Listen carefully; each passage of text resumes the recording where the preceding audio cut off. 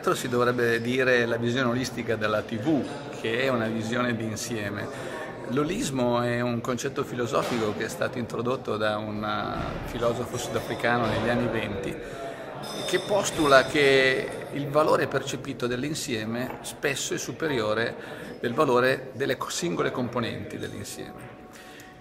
Ed è anche una modalità, l'olismo, che è opposto al riduzionismo. Perché ridurre la televisione ad essere solo quella del televisore o quella digitale terrestre? Perché non vederla invece come un elemento ampio di comunicazione che attraversa tutte le nuove modalità? Per esempio la televisione olistica si può coniare delineare in cinque dimensioni. Una è per esempio il fatto che tutti i televisori oggi sono multipiattaforma.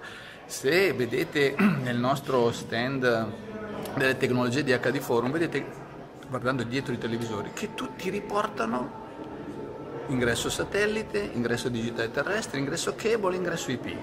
Ecco, questa è una prima dimensione.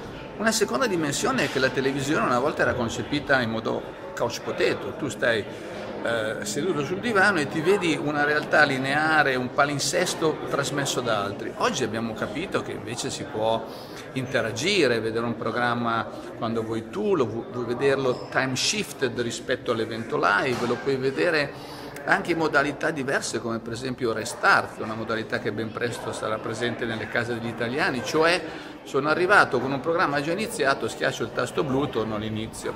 Ecco, tutti questi modi di fruizione, questo multimodo di fruire la televisione fa parte di una visione olistica del sistema.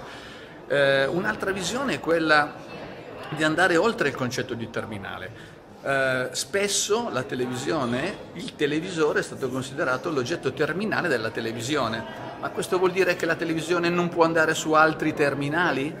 Per esempio, il sistema broadcast, che è un sistema da uno a molti, potrebbe essere molto bene utilizzato anche per mandare una televisione non planoscopica, quindi non di una superficie, ma per esempio una televisione con video 360, che viene trasmessa in broadcast uno a molti, utilizzando le tecniche del satellite, della, della distribuzione digitale terrestre, dell'IP, a uh, soluzioni di terminali come per esempio i caschi virtuali Ecco, anche questa è una visione che va oltre.